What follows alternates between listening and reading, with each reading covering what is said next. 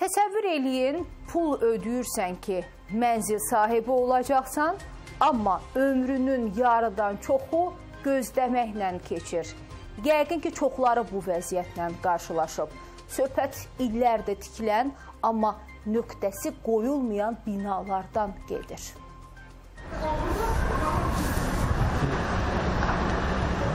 Fondakı göyrəkli binanın təməli 2008-ci ildə qoyulub. 23 mərtəbədən ibarətdir. 15-i yaşayış, biri mansart, 7-si isə qeyri-yaşayış sahəsi üçün nəzərdə tutulub.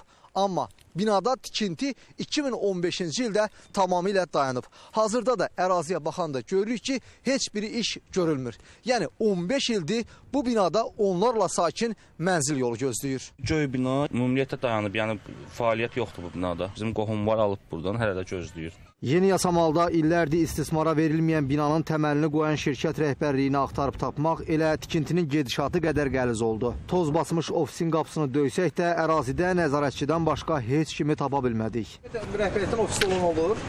Yoxdur, heç kəs yox. Əslində oxşar vəziyyət təkcə yeni yasamalda yaşanmır. Kiçik bir araşdırma kifayət edir ki, paytaxtın müxtəlif yerlərində nöqtəsi qoyulmamış binalarla rastlaşasan. Yəni indiyə qədər gecikməsin, tikintidə gecikmənin səbəbi nədir onu bilmək istəyirik. Qardaş bu 20 mərtəbə binadır. Bu elə bir şey deyil ki, elə e, bu götürək ona görə görsüz zəlzələ zamanı uçur tökülür. Gərək bu betonun qurumağı var, betonun dəminin yığılması var. 45 gün hər bir mərtəbəyə qəlibin yığılması var. Bunun hörgüsü var. Düzdür, keyfiyyətdən danışırıqsa, şəxsin sadaladığı proses tikinti norma və qaydalarına uyğundur. Amma az qala 20 ildir bünövrəsi qoyulan, amma işlərin yekunlaşmadığı 50-yə yaxın bina var Bakıda. Deməli, məsələ keyfiyyət məsələsi deyil. MTK-lara və yaxud MMC-lərə idarə etmədə düzgün adamların seçilməməsi, inzibatçılar tərəfindən o vəsaitlərin müəyyən hissəsinin mənimsənilməsi, materialların satılması və s.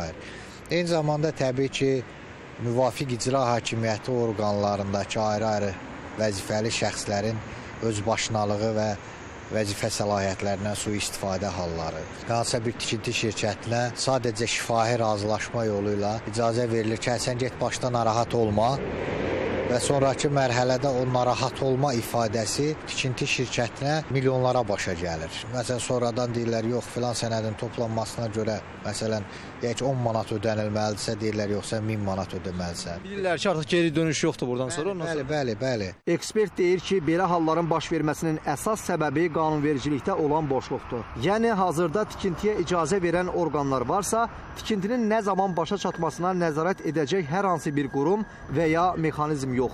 Bu proses e, əslində tikintinin başlanması dövründə, yəni sənədlərin toplanması dövründə müəyyən olunan məsələlərdir. Tikinti şirkətlərinə icazə verilərkən mütləq şəkildə onlardan ya ya hesablarında olan dondurulmuş nəqd vəsait tələb olunmalıdır və yaxud hansısa dövlət bankının qarantiya məktubu alınmalıdır.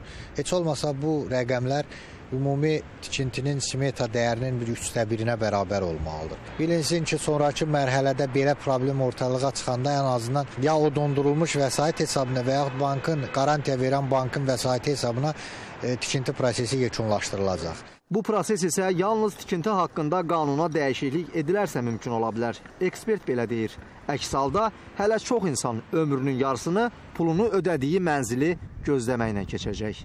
Gündüz Vaqifoğlu, Namiq Abdullayev, ARV xəbər.